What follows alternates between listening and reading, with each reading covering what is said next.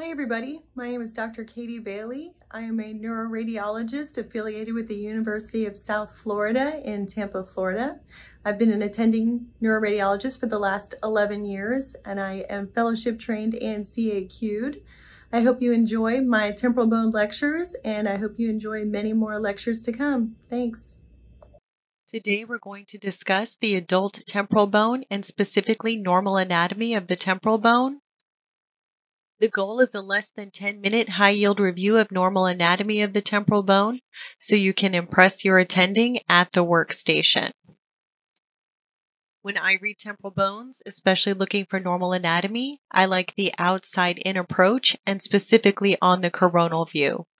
So the first thing that you're looking for is patency of the external auditory canals.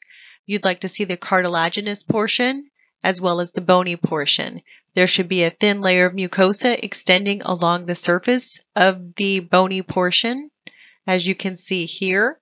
On the left side, you see that mucosa also extending along the roof.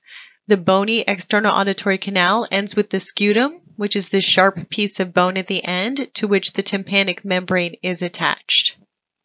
So your main question with this, is the external auditory canal patent? Is there any abnormal soft tissue in there? Those are the questions to ask about the external auditory canals. Next, we get to the middle ear cavity. So you have the tympanic membrane, which should be so thin that you can't measure it. It should just be a thin, wispy little bit of soft tissue as you see here.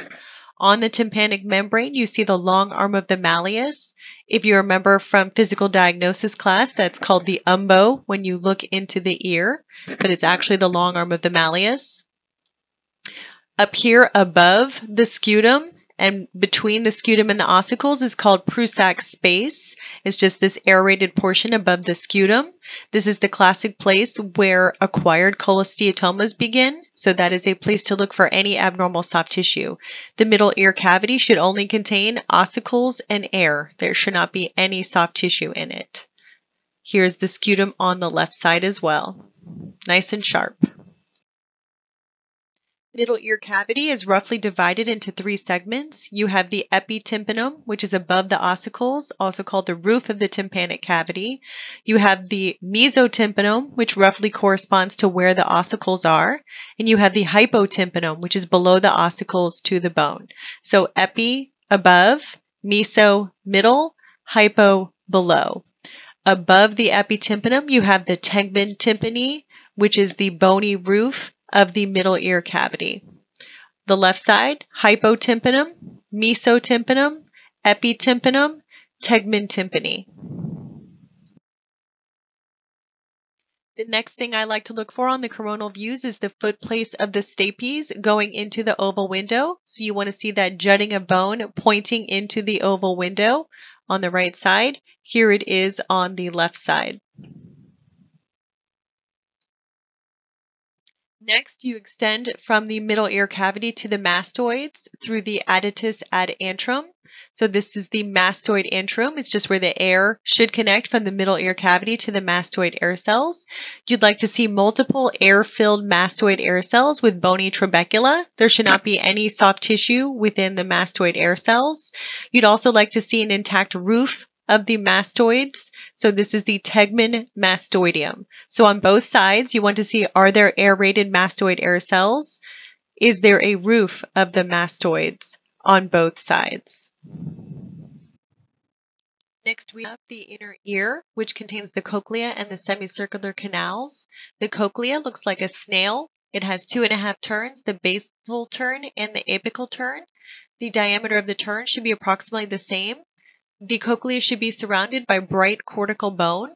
The part of the bone that juts towards the middle ear cavity is called the cochlear promontory. You should have three semicircular canals, the superior semicircular canal, the lateral or horizontal semicircular canal, and the inferior semicircular canal.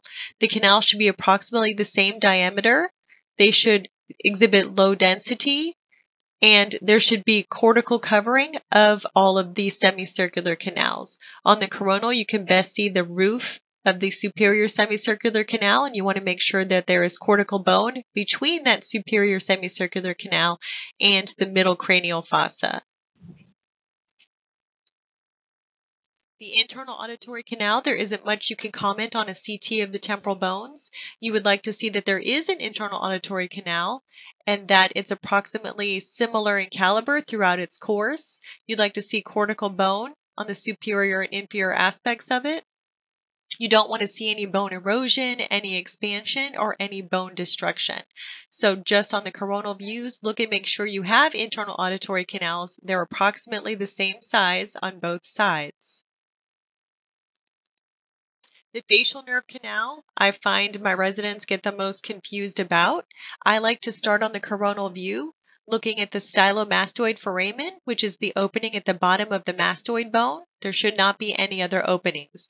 This is where the facial nerve comes out. So after one, after you find where it comes out, then follow it back to its origin.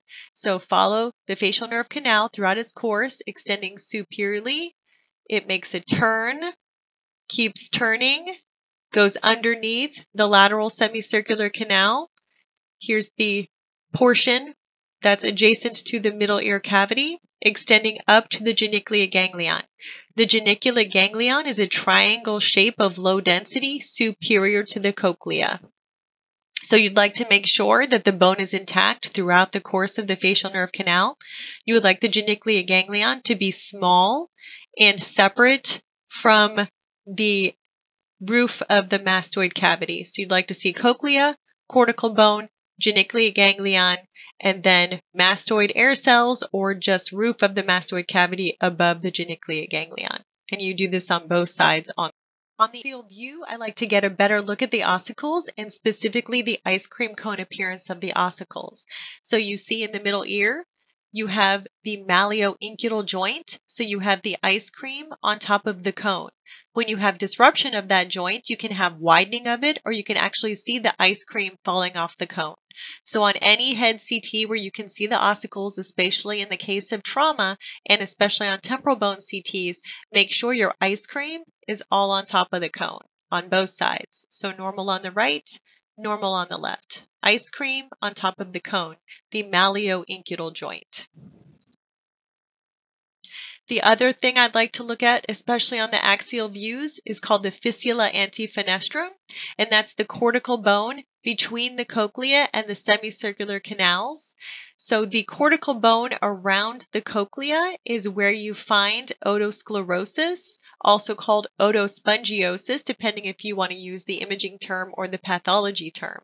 So you want to make sure this bone is bright and cortical. When you get otosclerosis, you get an appearance of more spongy bone, so the bone becomes more hypodense, like you see here at the petrous apex.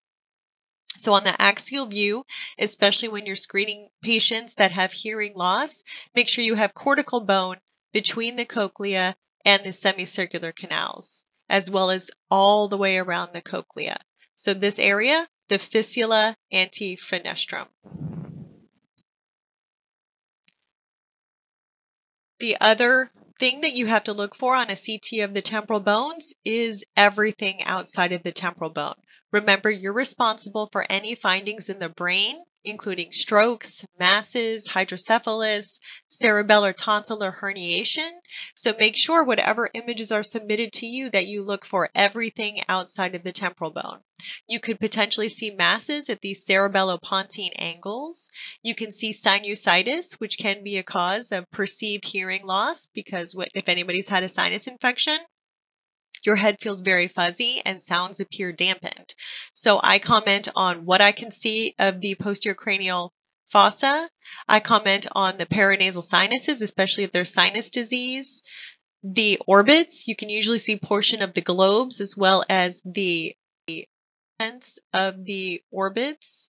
You can see in the nasal cavity you can look for polyps, masses. You can see portion of the parotid glands. In fact, one of the things I find is most missed on head CTs or temporal bone CTs are incidental parotid masses. So don't forget to look at the parotid glands when you're looking at a temporal bone CT. Also look for the soft tissue in the nasopharynx on the axial and sagittal views. Make sure you're not missing a mass in the nasopharynx that's causing problems with the temporal bone, especially if you see a unilateral mastoid effusion, something that's persistent, always check the nasopharynx. specifically the fossa of Rosenmuller and that torus tubarius, as well as the midline, looking for lymphoma, especially in the midline, and squamous cell carcinomas of the nasopharynx, which tend to originate in that fossa of Rosenmuller. So to summarize, I like to start with the coronal images, looking at normal anatomy from the outside in. I also look at the coronal images for the extras, the facial nerve canals, the internal auditory canals, etc. Axials for the final review, especially of the ossicles and the cortical bone around the cochlea, and then look for everything outside of the temporal bone that's included. Thank you for your attention.